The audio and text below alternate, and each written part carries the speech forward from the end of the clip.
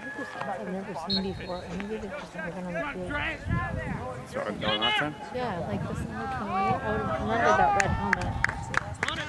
With the red strap. Okay. And then, like, number 23, I don't think I've ever seen. I think that there's an injury or his shoes up. Yeah, he, he twisted his ankle. Shoe kept. Oh, no. That goal was it. I saw it. Goal was it.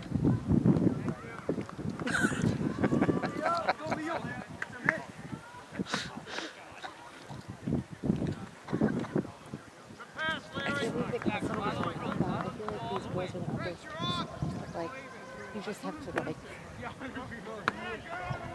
I mean, you don't want to say, oh, yeah, go out there and swear, but like, the teenage boys have like a ton of They'd like call the game or something. Yeah. If it was hockey, they would do that. They'd run the clock or something. Oh, yeah. Like, if they were six, they'd run the clock. Yeah, that's right.